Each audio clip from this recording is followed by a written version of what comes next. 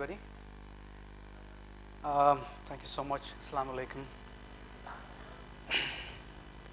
Actually, I have to confess to you guys what I've been going through for the last uh, three days, especially. Last one week, more the last three days. I've been going through an ordeal. Uh, the organizers of this, sh- this show, TEDx, has approached me last year to be part of the TED. And uh, they keep writing to me. Um, they keep sending me a lot of guidelines. I have a problem. Uh, I can't prepare a speech and talk according to the structured notes. I'm very bad at it. And uh, they said it's 18 minutes long. The counter already started running. The last time I stood in front of this of a counter like that was when I won the Oscar. And uh, the speech I made there, they said it's one of the unforgettable speech in that evening. But I bet that's not going to happen here. Um, oh, it's so much pressure. Uh, I've been trying to I've been trying to run away from this counter for the last three days, and uh, then I try then I tried to sort of not come today, uh, saying that I'm very busy. Uh, actually, I was very busy. Uh, I am very busy because this is the time where we send a lot of films to Cannes. I have two of my films running to be showcased at Cannes, so there is a certain deadline that I have to I have to adhere to. But because I said yes to them one year before, I have to live up to that, commi- that, that commitment. Then, uh, then again they said it's, it's according to the guideline, you know that you have to be here. I said okay, 16th is the talk. Can I come on 15? They said no. According to the guideline, you have to be here two days before. So, my immediate nightmare at this moment is TED. I don't know who these guys are. I have never met them. So always they push this, this guidelines in front of me, and I started thinking they are like this credit card honchos, you know. they only they only exist on phone. You call them, they are on phone. You tell them the problem. They'll call you back. You ask them, do you have any number where I can reach them? No. They will call you back. So it's like every time I attempt to do something, uh, they say it's a guideline. So according to the guideline, I'm supposed to speak 18 minutes. I think TEDx means extension. I think they will extend it. So,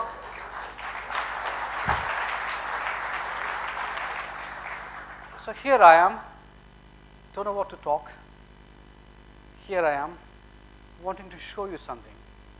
Probably that will spark something. Um, today in the morning sessions, we have seen, you know, a lot of emotion on the stage.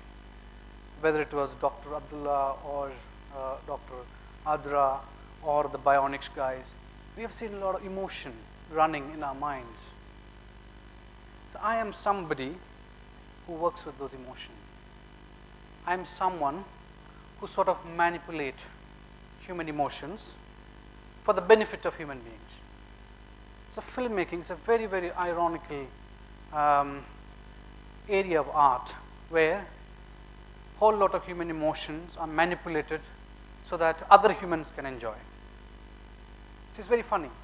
So we all sit in one room in, in, in darkness where caste, creed, religion, color, nothing matters.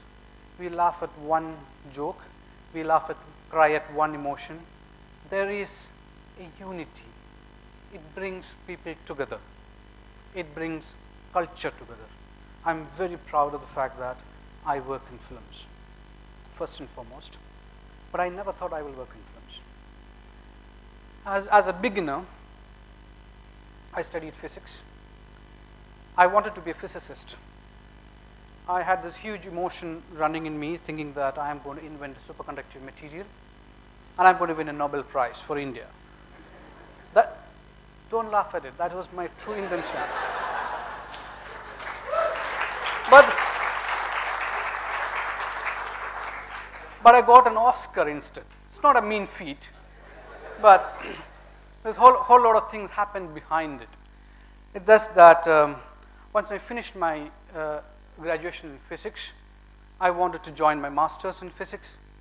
Uh, uh, our education system is very, very, um, I don't know what it is, somebody just, just, just told me that. It's, it's very, very you know, peculiar, it's very hard to understand.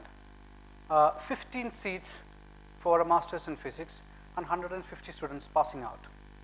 And my father was a staunch believer in principle. He said, no donation, so my superconductive material hanging in the air now. So I don't know what to do. I had this uh, first class degree in, uh, in physics, so I was just roaming around. So I said, I'll join for law. So I joined for law. Then, um, a year into the law, a couple of my friends said they saw an advertisement in a newspaper. They said, you know, there is a course in Film and Television Institute of India, Pune, where you can study sound engineering. So the engineering word sort of interested me. So I thought, also it's an extension of physics, so I would do something to do with physics. So I went to Film Institute thinking that I'm going to study physics. I born in a small, in a, in a very, very remote village in Kerala. Why I say this, um, you know, quite often it comes across as like a pompous statement, so I don't want it to sound like that. There was no electricity there until my mm, age of 17. The nearest school was six kilometers away, so we had to obviously walk to the school. So I've never seen films before, not major classic, classics, uh, classical work. So I went to Film Institute like a novice, doesn't know anything about filmmaking. But I spent one week there. I didn't get in for the first time, I failed. Because I went there prepared like an IAS exam, you know, you give structured notes. That's why I refused to read notes.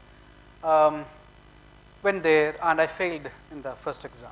So I came back. But that failure did one good thing, that I discovered cinema. And I found out that, that cinema is my call. I want to do cinema from now onwards. So I came back to my law school. One year, I just watched films wherever I could go. I sort of, uh, you know, uh, re reinitiated the film societies in, the, in, in, my college, in my other college, my friend's college, everywhere I went. And I watched one film every day. And I prepared sort of myself, and I got into the film school the following year. Then, I would say, mm, in the guidelines, I keep saying that let there be a story. So that's again another thing that's running in my mind. Where is the story? There's no story. Okay, the story is this. I went to film school from a small village. I met a whole lot of people. India is a very, very diverse country. Lots of people from different parts of, parts of India. So I went and met all of them who doesn't speak my language. I studied in, in Malayalam medium, which is my regional language. So I had to go there and speak to all of them in English. I think in Malayalam, and I translate it. My computer is not so fast. And I speak in English. So in every translation, what is lost is original. So there is a generation loss in everything that I do. So I thought, the first thing that I have to do is to overcome this. If you ask me, what was your struggle? That was my first struggle. To overcome where I am coming from. To overcome so that I can communicate with the rest of the world. That was my first struggle. I studied one year with timetable to myself. Every challenge was to myself, not to anybody else. I prepared a timesheet for me. I woke up, the library opens at 8 o'clock. 8 to 8.45 I used to go to the library, 10 minutes breakfast, go to the class at 9, 9 to 1 classes, 1 o'clock hit the lunch, finish the lunch fast, come back to the library, go back to the classes at 2, come back to the library at 5, 6 o'clock there's a screening. Monday to, mon Monday to Sunday, morning, evening, afternoon, I used to read different kind of books, different kind of periodicals. Every day I kept myself a kind of a timetable. And after a year, I thought, I'm done. Now I can talk to people. I overcome, overcame my fear. And I studied cinema three years. I used to have cinema for breakfast, cinema for lunch, cinema for dinner, and we used to spread cinema and sleep. Came back to Bombay now Mumbai, and uh, to, to the Hindi film industry. When I came out, I had two dreams. One, I always thought why Indian films are looked down upon compared to the rest of the cinemas in the world. Why a European cinema or a Hollywood film is conceived or appreciated far better than Indian cinema. I, I, I realized it is the way the sound is done in those movies. So I wanted to change that. And second was to create a sound library for Indian cinema. We never had a sound library. We, you know, if, if you have to source sound uh, libraries, uh, sound, Uh, you know, we had to either go to Hollywood Library or a BBC Library or a Sound Ideas, any of those ones. So I came to Mumbai with these two dreams in my mind. Nobody needed them. So basically, you got educated, you have a structured knowledge about cinema, and you think you are going to create, change the world with your new cinema, but the industry doesn't need you. That was my second struggle. To create my need for the industry. An industry doesn't need me, but I needed the industry. So I began with the concept of recording cinema live in Mumbai, way back in 95, when there, was, there wasn't even necessary specialized microphones available. I used to collect microphones from my friend's place and you know put it in a bag, take a taxi and go to shoot, you know, like a porter. 14 years later, with the same concept, I was standing on a podium like this in the in Cinema Audio Society of America, where we won the Cinema Audio Society of America's award, which is the biggest honor for any sound man in the world. Only 500 people that got that honor uh, in the world. We won for Slumdog. That, thank you. That teaches me one thing. If nobody needed you, then you are going to make some difference. If nobody needed you, then it is upon you to create the need. And someone asked me, oh Resul, you, you know, you got overnight success. I said, yes. Just that one night had 14 years long, you know. So that's a story. According to the guideline, I've done everything. so, so I'm going to show you something. I would rather tell you what, what I do so that you know, uh, you get a grasp of what I do. So I'm going to show you one sequence from this film, the much talked about Jamal's film. I'm going to show you a sequence. Just enjoy the sequence.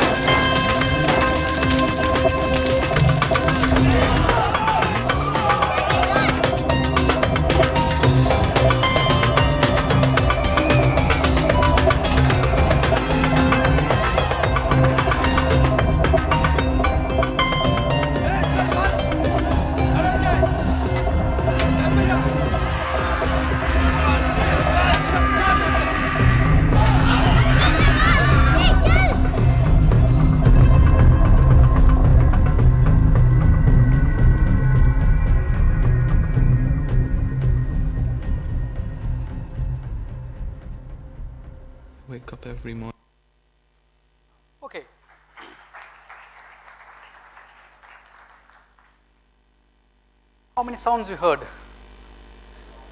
So many of them. Okay, I can just break it down, the kind of, all the sounds that we heard in this sequence, I can just break it down into six. One is a spoken dialogue. Second is the ambience sound of that place. Third is the sound effects of the place, of whatever has been created. Fourth, you probably might have heard some so the boys running and the policemen hitting the lathi and all this all these sounds. They're called the Foley sounds. And the fifth one is the music. And often in Bollywood, you hear one more sound, is the songs separate.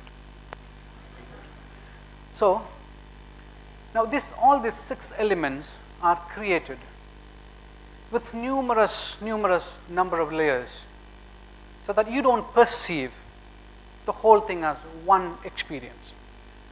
That's what the job. While we were, we were, I was working on this movie, I was working with one idea. That one big idea was, how are you listening? Um, when this film came to me, it was you know shooting live sound in Mumbai on the streets of Mumbai. It was I had done an Aamir Khan film before that. I thought I have mastered the art of you know recording cinema live in Mumbai streets. So this film came into me. I said, okay, it's cool. First day I went to the shoot, there were seven cameras shooting. Traditionally, in filmmaking, we use one camera. We take a long shot, then we have to take a close up. We go take the camera closer, change the lens. We do one by one. We deconstruct one scene into number of shots and we shoot. Here they have done because we, it involved kids, untrained actors. They were using seven cameras and shooting live. Most often, Danny would come to come and say, tell me how he would like to hear the sound in that particular sequences. So, which means I have only one chance. So if there is something wrong in a take, we would reshoot the whole scene again. As a principle, you know, when we are doing live sound, we use the minimum number of microphones so that the noise captured is, is less. I must have used more than, you know, at, at sequences I have used more than 25 microphones. So first day of the shooting, I realized that whatever I have learned till now is defunct. There's no use of this. I have to unschool, I have to deschool myself, everything that I have learned. I stopped recording the film professionally. I thought I was making the biggest mistake of my life. Then the solace was that, you know, somebody, nobody will watch this film. Someone will watch in some festival. My reputation is intact, you know. I decided to record the soundscape of Mumbai.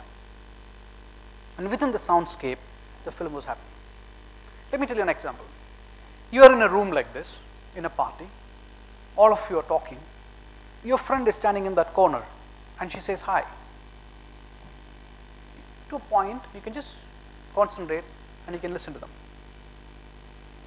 If I keep a microphone here, I will not be able to hear that. If you're walking on the road, there's a lot of traffic. You're talking to a friend, you're walking, you can still hear everything that he's saying. But if I keep a microphone, microphone will hear everything. The microphone doesn't have the intelligence to hear. So only one aspect I tried in this film was to understand how human brain is processing hearing. I used technology to arrive at it. I used multiple microphones, multi-track recording to arrive at how a human ear would hear something at that moment. I was, it, this film was competing against some of the biggest blockbusters, biggest films of made in that year, WALL-E, Batman Forever, all of it were 300, 400 million dollar films. This is a 12 million dollar movie. And I think we won. I often ask myself, well, how did I win an Oscar? I think that was because I was working on one idea. And that idea was strong. So I want to tell you, my youngsters who are sitting here, have an idea.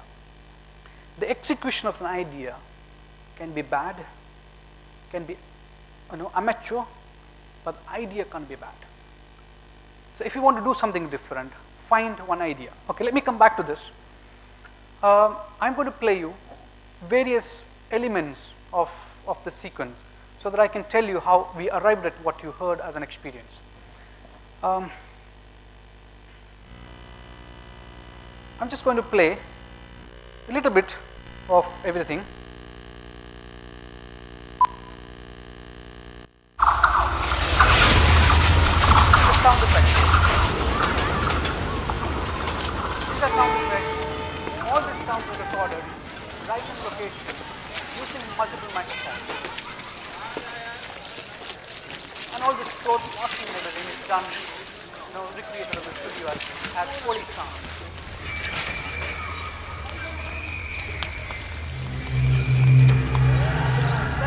Sound design, new sound we have created in the studio to, to move your attention from what is actually happening.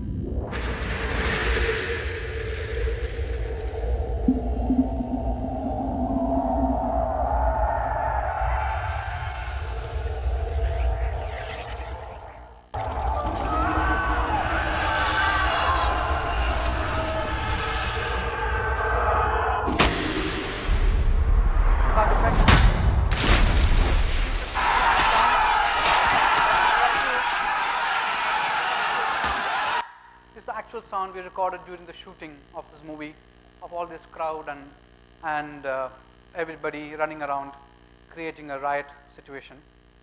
And I'm going to play you another element. After watching this sequence, what Rahman created,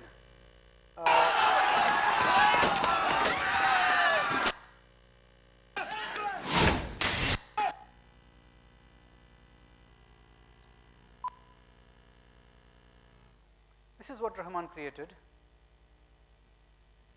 There's no music until until quite into the sequence. This is his interpretation of what the edit editorial film. This is his musical interpretation. There's no music into the film.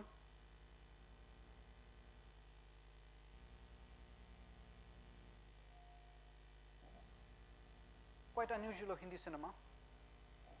You know, they can't look, listen to where the music is coming in and how it's coming in.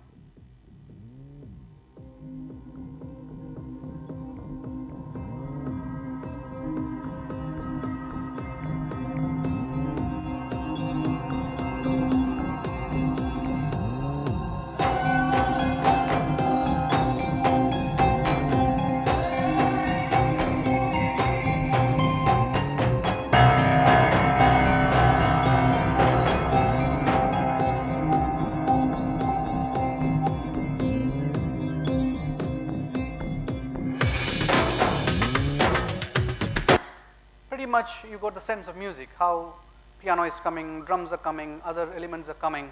One by one it has been introduced. Now, you got a sense of various sounds. When, the- boys runs to the policeman, policeman saying, run away, run away, those are, those are the spoken dialogue. Now you see how these various elements, sound effects, music, dialogues, everything that has been part of, the, of, of, of that sequence been enacted there, been captured and has been used to recreate another reality. It has been used to create another emotional experience. I'm going to play what I played you first time again, and in this time, I'm going to run, speak through, speak through it so that you, I can explain you.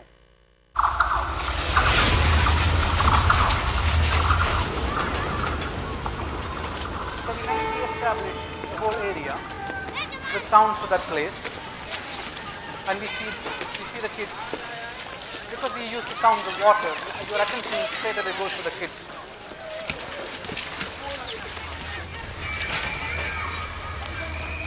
And the mother looks at it and you hear some sound. There's something going to happen. And you give a clue. And the boys goes down. No sound. You hear the sound how it comes up as if he's out of the water.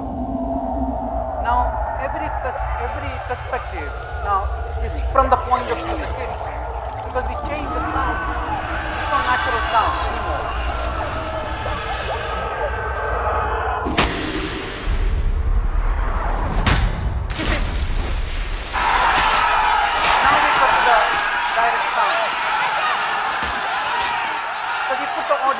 Into the reality of what is happening. And the music comes in very slowly.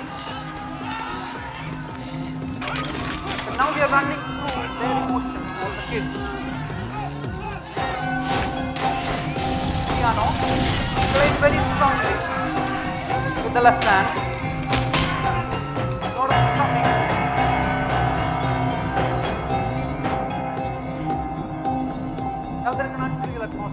Everything has been taken out.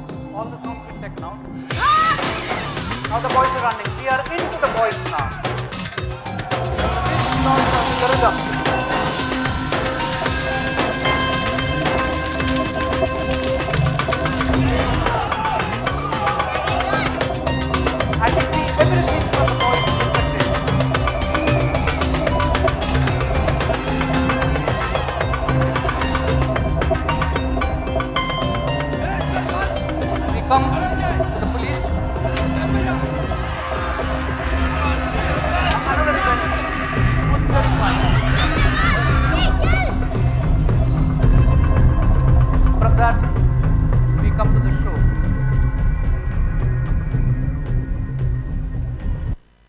Rahman composed the music, he composed the music with electronic sounds, also used the piano, also used a lot of uh, acoustical instruments.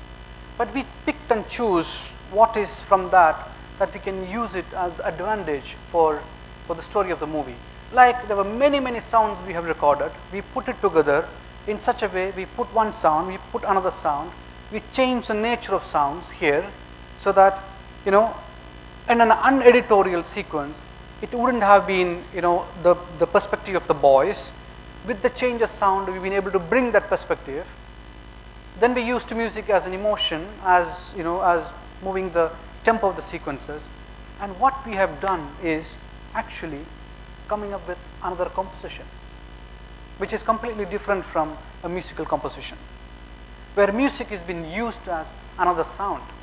So various other sounds we record, we multiply, we put together so that it creates one emotional experience.